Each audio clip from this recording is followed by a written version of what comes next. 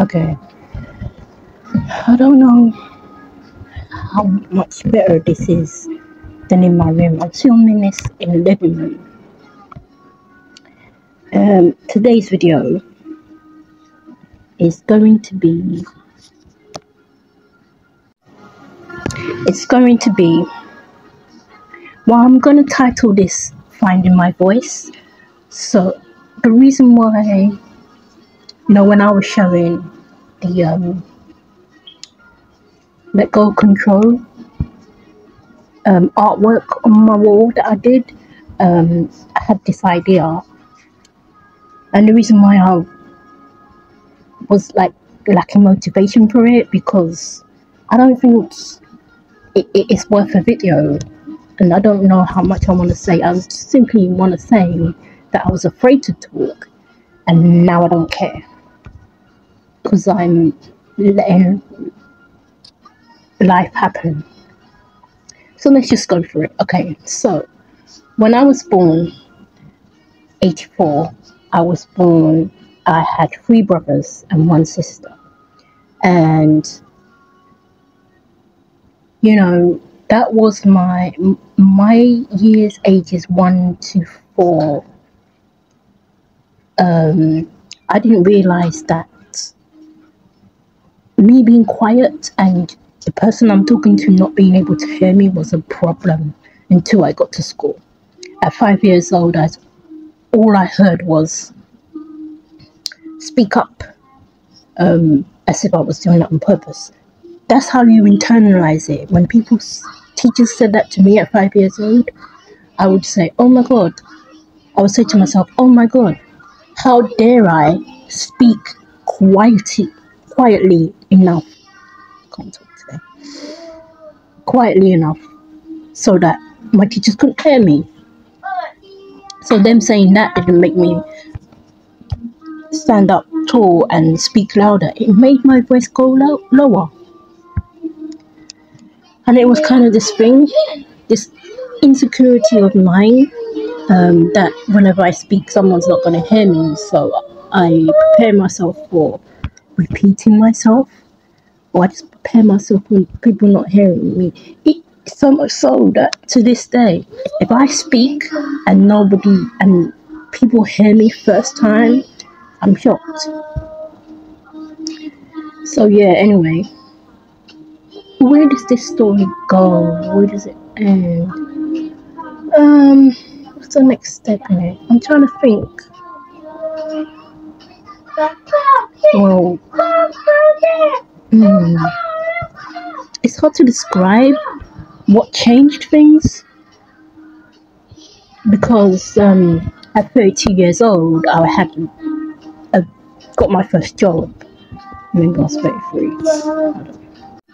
Yes, when I got my first job at 32, um, the speak up changed to, huh? That's annoying. I feel like screaming inside, but outside I'm smiling. And that was in 2016. And then I guess I would say 2019, so a few years after that, when I decided I need to fill my feels without the input of another. So I even mm, before that was kind of in a space of you know when you go to you may not be in with this because you're an extrovert or whatever, but you go to a space or a place and I am always in my head about the silence, really. The silence bothered me until it didn't bother me, and I would be like, oh my god, I haven't spoken in two minutes. And then another two minutes would pass, blah, blah, blah. And I think it was about me letting that go. Yeah, that was what before the let feel what I feel without the input of another. I just kind of let that feeling of the silence and being okay with the silence. Yeah. Nowadays, I don't worry so much about it. If I'm in a space, there will be, I have accepted the fact that I will always be the quietest person in the room. I'm okay with that. You know, it's like I get go to gatherings and stuff, and I'll come out from it and think to myself, hmm, I either didn't say anything at all, or I spoke more than I thought I would. You know, and I don't know where this video is going to end in, but I guess that's all I wanted to say on that finding my voice. It was that was my journey of finding my voice. Yeah. Let's do a little brain dump. By the way, um, Oh, I'm also drinking some tea. Oh, I know, I know you're gonna say in this weather. If you know, you know, you know what I'm saying? Like, true tea lovers will drink tea whenever. You know, tempted to say British people, but you know, let's not generalize. You know, because there may be people out there who are like, yeah, I love tea, but I wouldn't drink tea when it's hot. And I'm not the type of person to anybody. This is that person talking to say, yeah, come in my house, let's put the kettle on. No, if it's boiling high, I'll give you some ice cold water. But anyway, what I'm saying is, I love tea. Is all. I've been feeling very um exhausted. I literally wake up and go to sleep I know there's a reason for that, and I'm not going to change that reason because this is how my life is right now. I think one of those reasons is I spend all my time alone, and experts will say your brain is kind of like sleeping time. So, like to, to do that, to get out of that brain thing mindset make your bedroom your bedroom and but that's unrealistic because there's only so much space in here you know what i'm saying and even if there was more space i'm generally not going to do that um,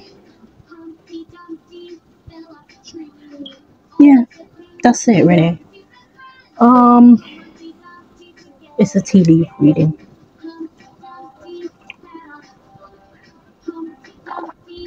What I have to do right now, my to do list is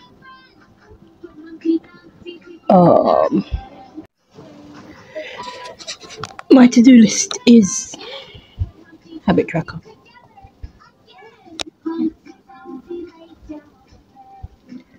And then I got to complete these.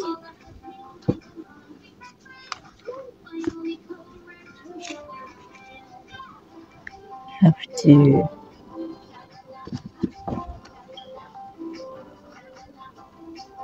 add Sketch-a-day to the app, do some journaling, and a tea leaf reading. So yeah, that's the end of the video. I always think these videos won't be very long.